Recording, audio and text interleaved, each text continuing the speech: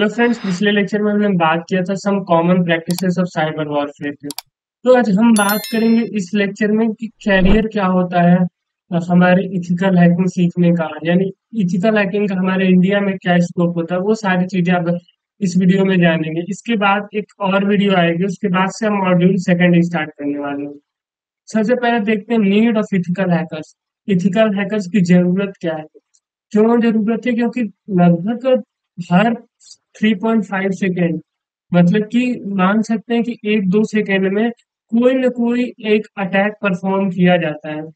और देखिए average cost of data breach in 2020 में जो डेटा ब्रिचिंग की कॉस्ट थी लगभग ढाई सौ मिलियन थी।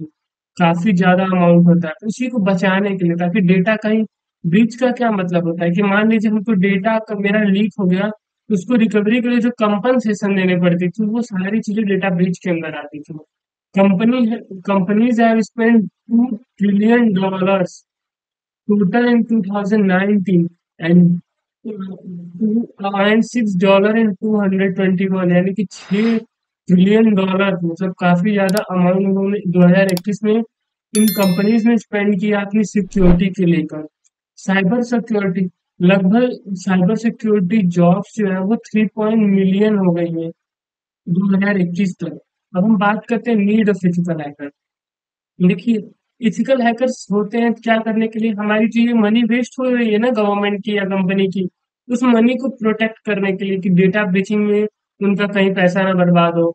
और क्या करते हैं कि हम उनमें बग्स जो होते हैं प्रोडक्शन के टाइम पे या फिर जैसे वेबसाइट मेरी बन रही तो उस टाइम पे अगर कोई बग आया तो उसको हटाना, या फिर वेबसाइट अगर चल रही है तो उस वेबसाइट में बीच बीच में कहीं बग आते हैं तो उसको हटाना। उस केस में भी इथिकल हैकर्स का काम आता है। फिर इथिकल हैकर जो होते हैं ensure security of the company पूरी कंपनी की सिक्योरिटी की ज़िम्मेदारी लेते हैं कि आपकी कंपनी में कुछ भी गलत नहीं होगा। जब तक हम लोग हैं, तब तक कुछ भी गलत नहीं होगा। इस चीज़ के लिए हमारा एक बहुत बेहतरीन ऑप्शन होता है इथिकल हैकर्स और इथिकल हैकर्स की वजह से कंपनीज़ का काफ़ी ज़्यादा पैसा बच जाता है। मान लीजिए अगर इथिकल है, कोई हैकर्स आके कंपनी का एक सिस्टम भी डिस्ट्रॉय करता है। अगर उस सिस्टम में बाई चांस खुदा न खास्ते आग लग गई उससे अगर वो उस रेंज में लैब की तरह बनाया हुआ तो वहाँ पे सारे सिस्टम जल जाएँगे। उनकी वायर का लॉस होगा उनके सिस्टम का लॉस होगा हार्ड डिस्क का लॉस होगा कैबिनेट का लॉस होगा मदरबोर्ड का लॉस होगा। अगर ये सारे अगर दस भी सिस्टम चलते हैं तो कम से कम भी अगर अच्छी खासी कंपनी है तो ज़ाहिर सी बात है, ये आई थ्री वाई थ्री तो यूज़ करेगी नहीं आई सेवन प्रोसेसर होगा। इस तरीके की चीज़ों में तो लगभग मान के चलिए, कम से कम की बात किया जाए तो दस सिस्टम भी होंगे तो कम से कम दस से बारह लाख रुपए उस कंपनी का बर्बाद होगा। तो इस केस में अगर देखा जाए तो वहाँ पर लॉस हो रहा है। तो उस लॉस को बचाने के लिए इथिकल हैकर एक्शन में आते हैं। तो क्या होता है कि जितने भी आप चीज़ें आराम से सेफली ब्राउज़र कर पाते हैं, वो सिर्फ़ इथिकल हैकर्स की वजह से ही आप साइबर स्पेस में इतना सेफ़ और क्लीन इन्वायरमेंट पाते हैं और घूम पाते हैं, यानी कि चीज़ों को सेंड कर सकते हैं रिसीव कर सकते हैं। जैसे व्हाट्सएप इंक्रिप्शन दिया उन सारी चीज़ों का आप यूज़ कर सकते हैं। अगर WhatsApp end to end encryption नहीं देता तो क्या होता कि आपके बीच में कोई अगर मैसेज पकड़ता तो वो बीच में निकाल लेता। लेकिन जब तक इसमें ऐसा इंक्रिप्शन है कि यहाँ से भेजिए तो इंक्रिप्ट हो जाएगा पैकेट्स में। पैकेट जब वहाँ पर सारे पहुँच जाएँगे तो वहाँ पर डिक्रिप्ट होगा। तो उस बीच में अगर कोई पकड़ भी लेता है तो उसको डिक्रिप्ट नहीं कर पाता है। ऐसी सिक्योरिटी अभी व्हाट्सएप ने दी इवन उस पर लिखा होता है कि व्हाट्सएप भी आपका मैसेज नहीं पढ़ सकता है। तो ये काफ़ी ज़्यादा हमको सेफ़ इन्वायरमेंट प्रोवाइड होते हैं एथिकल हैकर्स की वजह से हम बात करते हैं कैरियर ऑप्शन देखिए, लगभग करेंटली जो है चार लाख से भी ज़्यादा जॉब्स 2023 में इथिकल हैकर की रिक्वायर्ड है। लेकिन उतने हमारे पास पर्सन ही नहीं है जो इस जॉब को फुलफिल कर पाए। और लगभग अगर हम एवरेज एज अ फ्रेशर बात करें तो एवरेज लगभग इक्यावन हज़ार रुपया हर मंथ यानी कि पर मंथ सैलरी है इंडिया में भी इथिकल हैकर्स की। लेकिन आपको मैंने ये भी ये बताया कि इथिकल हैकर्स की हमारे इंडिया में थोड़ी बहुत क्या अच्छी खासी कमी है। लगभग चार लाख पोस्ट काफ़ी होती है ये पोस्ट खाली। और आप अगर इथिकल हैकर या फिर हैकर है तो आप हमारे पुलिस के साथ सीबीआई ऑफिसर फॉरेंसिक्स में, या फिर बहुत सारे ऐसे हमारे कंट्री के मिलिट्री फोर्सेज जहाँ आप काम कर सकते हैं। लेकिन इसके लिए आपको क्या करना पड़ेगा? इसके लिए आपको सबसे पहले तो हैकिंग सीखनी पड़ेगी। सर्टिफाइड होना पड़ेगा। अगले लेक्चर में मैं सर्टिफिकेशन की बात करूँगा कि आप कैसे ले सकते हैं, कितना पैसा लगेगा, वो सारी चीज़ें मैं अगले लेक्चर में डिस्कस करूँगा। अभी के लिए कैरियर ऑप्शन समझते हैं कि कैसे कैसे हम जा सकते हैं।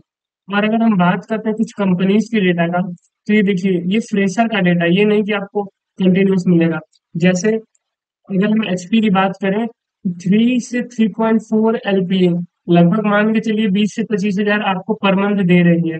इनिशियली आप अगर एज अ फ्रेशर ज्वाइन होते हैं तो एच सी एल भी वही रेंज है थ्री पॉइंट फोर से थ्री पॉइंट सिक्स एलपीए तक। ये फ्रेशर की बात कर रहे हैं एक्सपीरियंस की बात नहीं कर रहे हैं ये चीज़ नोट रखिएगा। अगर यहाँ पर यूनिवर्सिटी ग्लोबल की बात करते हैं तो वो भी थ्री पॉइंट एट से फोर एलपीए तक। और ऐसे बहुत सारी कंपनियाँ हैं जो सिक्योरिटी को लेकर काफ़ी ज़्यादा कंसर्न है। तो उन कंपनियों में जो पैकेजेस होते हैं, वो काफ़ी ज़्यादा वेरी करते हैं। और ये सारे पैकेज जो मैंने आपको दिखाया ये तो सिर्फ़ अभी इनिशियल फ़ेज़ का है कि आपको एज अ इनिशियली अगर इथिकल हैकर ज्वाइन होते तो आपको कितना मिलेगा। अब हम आगे बात करेंगे कि देखिए इंडिया में अलग अलग प्रोफ़ाइल की कितने कितने हैकर्स को कितना मिलता है। तो ये देखिए, अगर आपको आईटी एंड इंफ्रास्ट्रक्चर एवरेज जो है, ये देखिए six R S six hundred thirty eight ये बोला जाता है, लगभग इतना से शुरू होकर अगर आप एज ए इथिकल हैकर काम कर रहे हैं और आईटी एंड इंफ्रास्ट्रक्चर में ये मिनिमम कॉस्टिंग होती है, आपकी जो छह सौ रुपये से लेके आपको टू पॉइंट फाइव मिलियन तक मिल सकता है। ऐसा नहीं कि आपको छह सौ सिर्फ़ ये हम दिखाने के लिए डेटा लाए कि छह सौ रुपये मिल रहे हैं, सात सौ रुपये मिल रहे हैं, ये नहीं। ये एक इस तरीके से होता है कि आप एक कंपनी में बग फाउंड करिए या कुछ करिए, उसमें होना चाहिए। तो इस हिसाब से आप काफ़ी ज़्यादा कमा सकते हैं। तो देखिए, यही ऑप्शन थे एज ए फ़िज़िकल हैकर थे। अब आई होप कि आपको ये वीडियो समझ में आई होगी। अब हम ले- अगले लेक्चर में बात करने वाले होंगे कुछ सर्टिफिकेशन की। जो सर्टिफिकेशन लेके आप एज ए फ़िज़िकल हैकर अपना करियर स्टार्ट कर सकते हैं। और नेक्स्ट लेक्चर में हम कुछ जनरल टर्मिनोलॉजी की भी बात कर लेंगे, क्योंकि जो हम रेगुलर यूज़ कर रहे होंगे, ताकि आपको वो चीज़ें अगर पता होंगी, तभी हम आगे, क्योंकि वो चीज़ें मैं अगर रेगुलर यूज़ करूँगा तो आपको उसमें डाउट ना हो, इसलिए मैं वो पहले चीज़ें क्लियर कर दूँगा कि इस टर्मिनोलॉजी का मतलब क्या है। तो आई थिंक आपको वीडियो समझ में आई होगी। अगर समझ में आई है तो वीडियो को ज़्यादा से ज़्यादा शेयर करें। और अगर आपको कोई भी डाउट होता है तो हमारे कमेंट बॉक्स में पूछिएगा वो डाउट थैंक यू